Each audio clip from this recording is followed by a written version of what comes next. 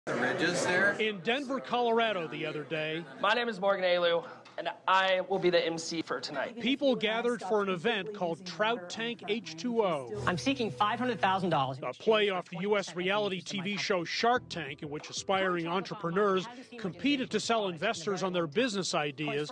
Trout Tank featured five businessmen pitching their water related companies to a panel of judges. We started our company here in Denver, Colorado out of a garage. Kokopelli makes light inflatable pack rafts.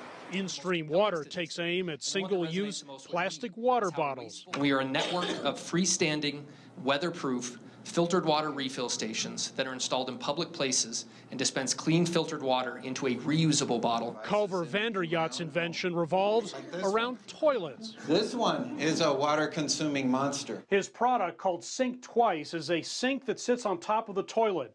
One flush sends clean water through the faucet and onto your hands for washing, then directly into the tank below. Sink Twice connects directly to the valve, and the valve comes straight from the city. In fact, some say cleaner than the water that comes out of a faucet. Vanderyacht says several thousand have been sold. The device detects water leaks and saves water and space in the bathroom.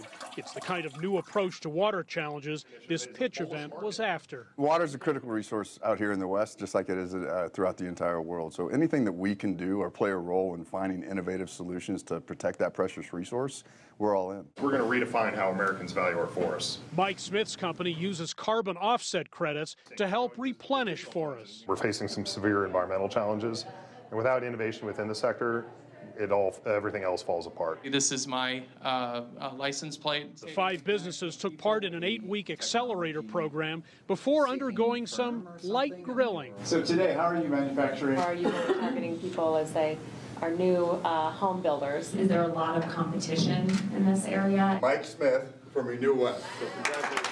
In the end, Smith took top prize of $5,000 along with some valuable exposure, including to potential investors.